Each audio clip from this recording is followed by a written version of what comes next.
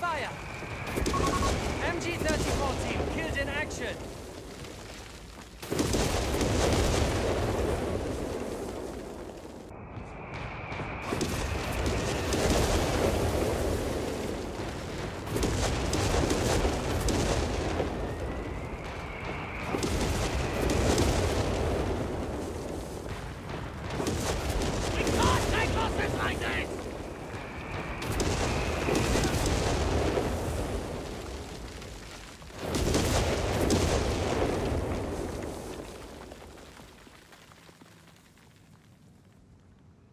MG-34 on Ready for standby. orders. Weapon crew eager to dig in. The latest patch in Company of Heroes 3 comes with significant changes to weapon teams. The team weapons have become more effective in their roles and are significantly better compared to how they used to be. For example, the heavy machine gun now has a suppression aura that quite large in my opinion. The anti-tank gun now able to shoot through any objects that are nearby. Moreover, the tank cannot retaliate back as the tank shells do not behave the same way, making the building an ultimate one-sided cover.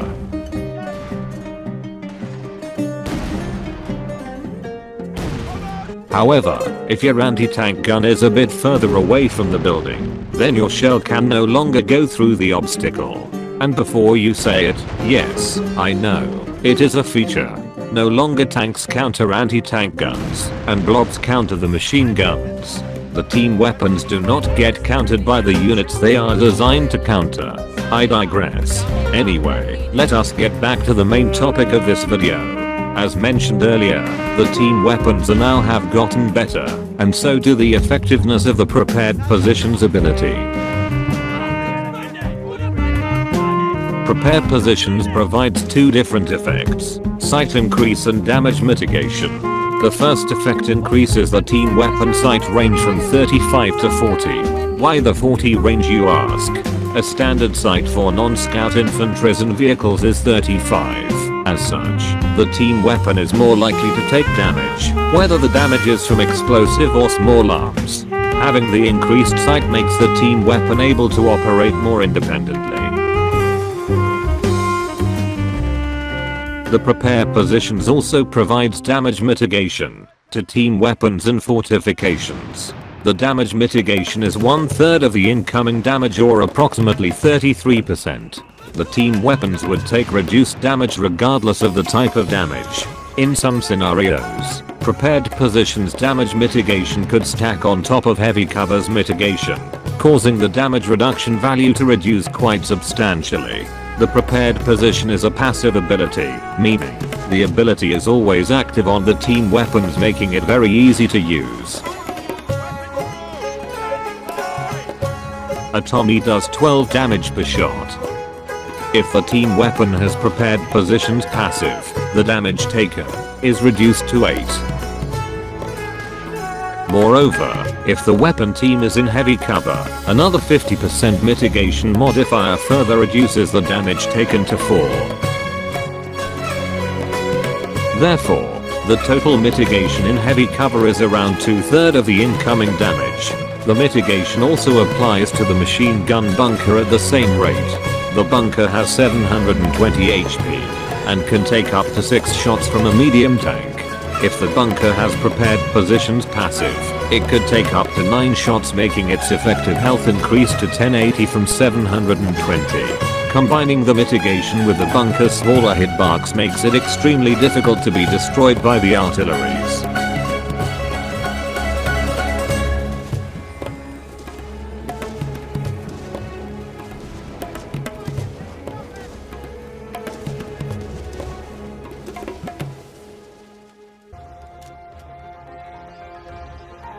The prepared positions ability is part of the defensive warfare tree in the Italian infantry battle group. While it's a great ability, unfortunately, the battle group is currently one of the weakest in the game, with half of its abilities being unusable. The registered artillery and booby traps are very situational, and their costs are often too expensive to justify their use, rendering them useless. For instance, the registered artillery costs 80 ammunition, and competes with propaganda war ability, which is one of the best abilities in the game. The ability is very restricted as it can only be used in the user's territory. Moreover, it is easy to dodge, and the damage is not even that impressive. The booby trap has been tuned down to the point where its cost to performance ratio is so low that it's not worth using. The L6 slash 40 and Guastatori squad call-ins can be quite situational. The L6 is effective against the British when they rush Humber and wreck and package for Tommies. The recent updates have increased the L6's frontal armor allowing it to consistently defeat the Humber and be immune to small arms. Its autocannon is also effective in bleeding out the Tommies. Guastatori is one of the few elite infantries that has an armor value greater than 1. However, the armor value does not justify the higher cost and upkeep. The small arms, such as the M1 Garand or the Enfield, with a penetration of 1 have an 80% chance to penetrate the 1.25 armor and deal the damage. The Guastatori armor is, unless when facing anything, that is not the standard issue rifles. For instance, Rifleman's BAR or the British Bren gun has more than 100% chance to penetrate the Guastatori armor. However, the Guastatori's double flamethrowers are extremely effective in close quarter and clearing garrisons, making them a very effective unit in urban combat, but they are still quite bad in the open map.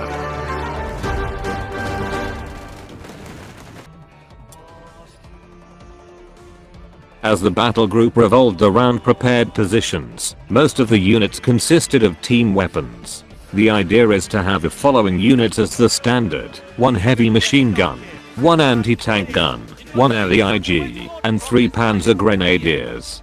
The build may deviate, based on different situations. For example, the L6S would be called in as they are great to counter-scoped Enfield Tommies, and the Humber, or the HMG bunker, is amazing on a certain map. For example, this spot in Air Pyrenees is amazing for a machine gun bunker as it covers the entire bridge. Moreover, the bunker enjoys the benefits of the high elevation mechanics, providing it with additional accuracy and ignoring the cover bonuses of its target. Additionally, the projectiles, such as tank shells, are likely to hit the environment, making it significantly harder to land shots on the bunker. In some maps, especially in narrow maps, it may be even worth getting a second IG. It is important to not bleed especially in the early game. Spending manpower to reinforce the fallen models could delay the team weapon and the infantry upgrade significantly, causing to lose the subsequent battles, and, thus, further bleeding.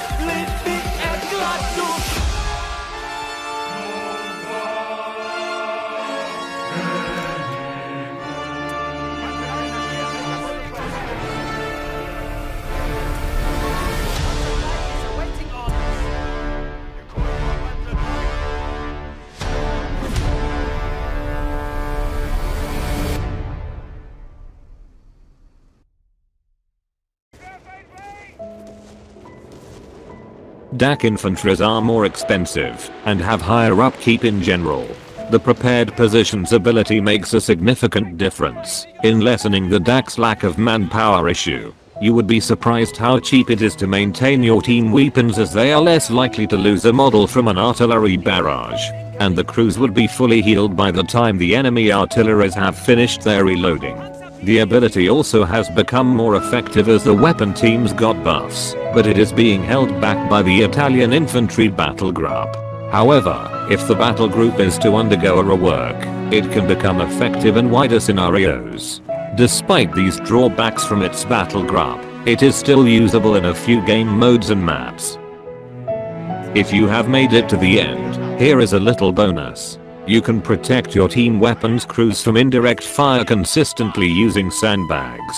By building two paralleled lines of sandbags and leaving enough space between them. You can order the crews that are not operating the weapon by right click in front of the sandbag and drag towards a direction. You will see the crew's position as you drag the right click